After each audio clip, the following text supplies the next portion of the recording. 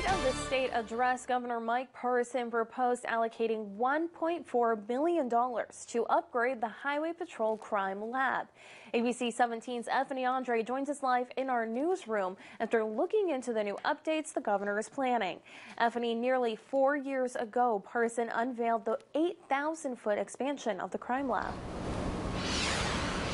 With the increased budget, the Department of Public Safety says the money would fund new equipment and the addition of new employees.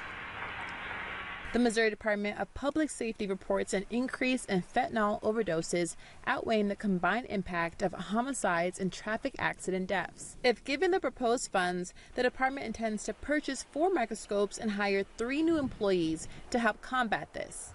And so it's really critical that we have reliable information to be able to get the testing we need done on those drugs so that we can move forward with prosecutions. Right now, Boone County prosecutor Roger Johnson says the lab takes a long time to get results back when they send evidence like drugs, guns, and blood.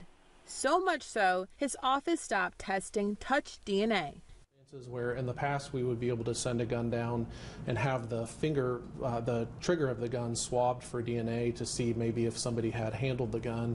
In a lot of cases, they won't do that kind of testing now because there's a relatively low return rate. Johnson says in some cases, law enforcement had to rely on out of state private labs to help its cases, which ends up costing taxpayers. Because where we rely on an out of state laboratory, when it comes time for trial, we have to have that person on the stand in front of the jury testifying, and we, so we have to pay for them to come back. We have to pay expert fees.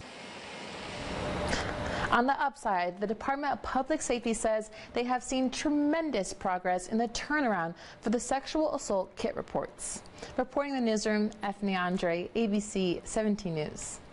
Thank you, Effany. According to the Boone County prosecutor, DNA testing results can take anywhere from 10 and a half months to 20 months.